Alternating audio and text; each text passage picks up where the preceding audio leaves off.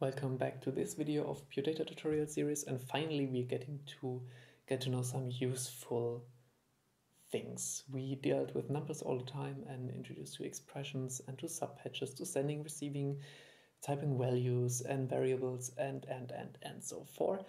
But in the end we need useful little patches and useful little functions we want to uh, process. Now we start with this.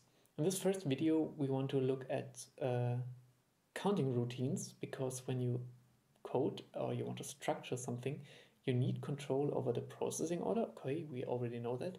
And you need control over, for example, iterations or do this for 10 times or things like that. Or do this only um, in a row, like a cycling of eights or something. So we will look at counting up and down now because it's very important and doing cycles with the modular object. So first, counting. We know there's a floating point object. This stores just a number. And we know there's the add object. And this is a routine you should totally keep in mind and never forget it again because it is your best friend for all the time. We do a bang button because this little structure just counts up or later on down. We output the floating point number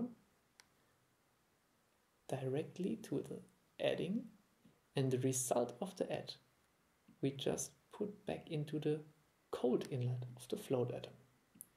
In this way we create a little cycle which when we bang it is always counting up because this one now by 1.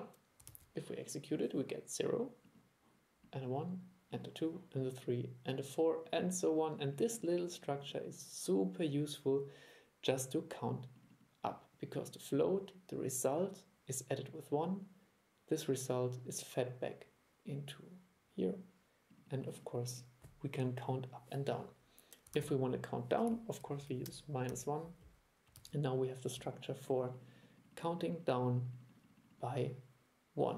And of course we can do count up by 10, like now we are stepping in 10th and you get the idea and so on and so forth. If we want to reset, we just need a message 0 and feed this into the cold inlet of the float atom.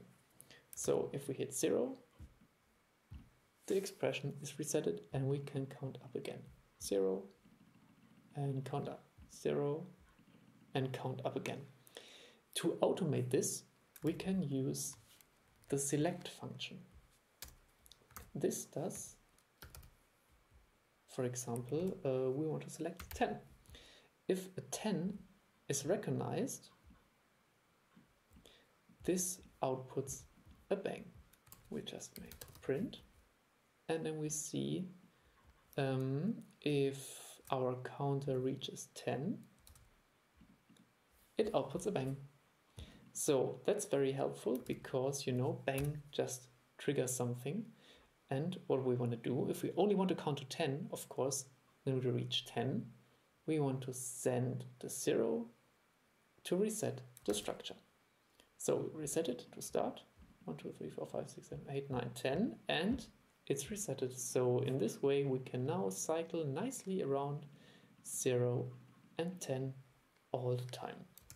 And because this structure is a little bit bulky and a little bit ugly and super messy, you see the need why I always try to avoid all those cords. And what you can do, of course, is use subpatch pd add one, then just use this x, x, hide it there, and of course you need inlet and outlet and maybe a second inlet for resetting if you want to manually reset. And then you have the function add one. Here we go. Add one. It's always adding one. And if you want to for example reset manually you just connect the bang to the second uh, inlet reset and it starts here from there. Otherwise it's cycling around 0 and 10. Again, because it's so important and so often used, the structure is like this. Floating atom and add. Then I go zoom in, you connect outlet to inlet, outlet to cold inlet, and then for the result get a number box and up there something to feed it like the bang button.